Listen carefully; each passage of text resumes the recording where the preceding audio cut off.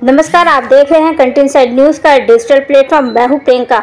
दिल्ली के मुख्यमंत्री अरविंद केजरीवाल ने दिल्ली में पिछले कई दिनों से चल रहे जल संकट पर अपनी चुप्पी तोड़ दी है। मुख्यमंत्री ने भीषण गर्मी में डिमांड ज़्यादा और सप्लाई में कमी को जिम्मेदार बताया है।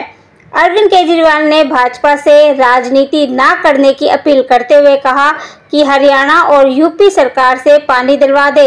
इसके साथ ही उन्होंने बिजली को लेकर अपनी सरकार की पीठ भी थपथपाई और कहा कि पीक डिमांड के बावजूद भी स्थिति कंट्रोल में है।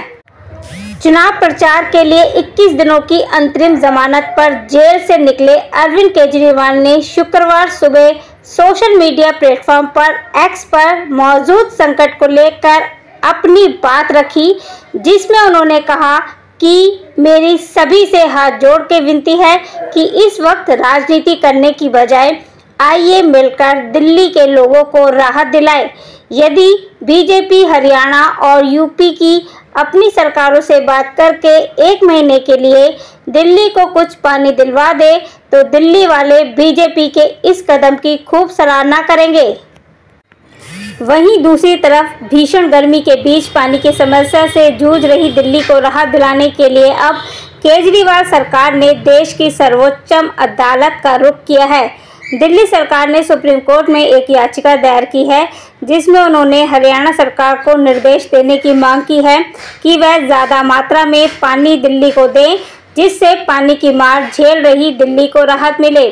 वहीं दूसरी तरफ़ आपको बता दें कि आज बीजेपी ने आम आदमी पार्टी को लेकर दिल्ली में धरना प्रदर्शन किया है। दिल्ली में जल संकट को लेकर भाजपा ने अरविंद केजरीवाल सरकार के विरोध में प्रदर्शन किया। शहीदी पार्क से नारेबाजी करते हुए दिल्ली सचिवालय की ओर बढ़ रहे प्रदर्शनियों को पुलिस ने आईटीओ मेट्रो स्टेशन से पहले ही रोक दिया। दिल्ली प्रदेश अध्यक्ष वीरेंद्र सचदेवा सहित कई कार्यकर्ताओं को पुलिस ने हिरासत में ले लिया। बाद में उन्हें चेतावनी देकर रिहा कर दिया गया। Bureau report country inside news.